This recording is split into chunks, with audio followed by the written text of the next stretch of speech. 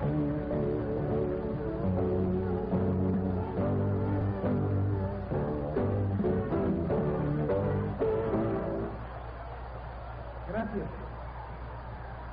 Queridos compañeros, me siento muy contenta de poder tener la oportunidad de actuar en directo por primera vez para el pueblo de Cuba. Pero como a mí no me gusta empezar a cantar así, sin más, quiero que antes todos nos hagamos amigos. Y para que me lo demostréis, vais a brindarme vuestra colaboración muy fácil, porque en Cuba todos tenemos alma de artistas. Vamos, tenéis y en España también, porque es un jaleo de lo mismo. Yo quisiera enseñaros el estribillo muy facilón de la canción que yo voy a cantar ahora. Vamos, maestro. La la la la, la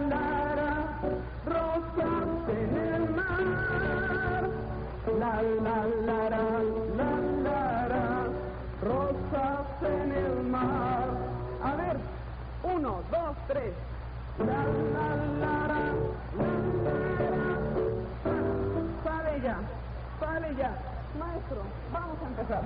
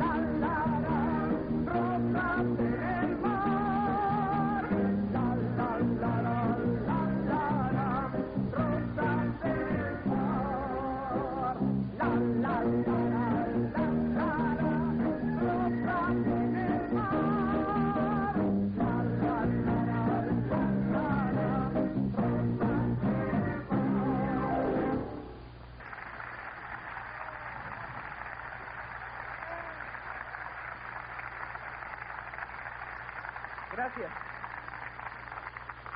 Una vez, estando en España, hablando con un gran director de cine, amigo mío, Carlos Saura, conocido aquí porque el año pasado vieron la casa.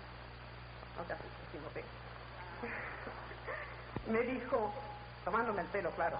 Él dijo que Rosas en el Mar era una canción surrealista porque eso de encontrar rosas en el mar era muy difícil. Pero yo sé que aquí en Cuba hay un día en el que el mar se cubre de rosas que arrojan todos los jóvenes de la isla. Es el día 28 de octubre y yo quiero dejar aquí mi rosa en honor de quien la arrojan ustedes.